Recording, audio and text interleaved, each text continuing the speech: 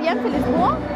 الشعر العادي والجاف بيتغسل آه، مرتين في الأسبوع. لازم تواظب على شعرها نظيف طول الوقت بالشامبو.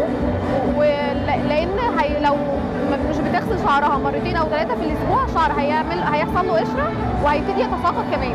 تمام؟ آه، تختار النوع اللي يناسبها يعني بيبقى مكتوب على الشامبو مثلا للشعر الدهني شعر العادي شعر الجاف غلط جدا إن انت تسيبي على شعرك آه، بلسم. البلسم فيه ماده بتضري الشعر جدا لدرجة إن هي بتوقعه. فضروري إن إحنا وإحنا من اولا لو واحدة شعرها عندها مشكلة تساقط شعرها بيقع شعرها ضعيف ما تستخدمش بلسم نهائي. تستخدم بداله الماسك اللي هو حمام الكريم. تمام؟ لو واحدة هتستخدم بلسم وشعرها كويس مش بيقع وهتستخدم بلسم أول حاجة تبتدي تدهن الشعر من بره تمام؟ وتشطفه كويس جدا.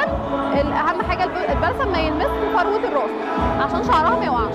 تشطفه كويس جدا 100%